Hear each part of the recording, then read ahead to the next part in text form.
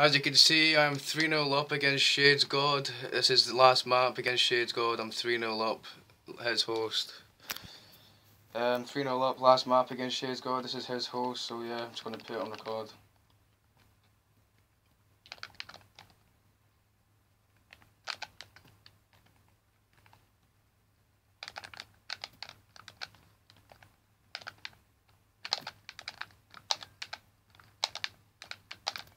There. As you can see, I'm just 1-4-0 against Shadez God. 1-4-0.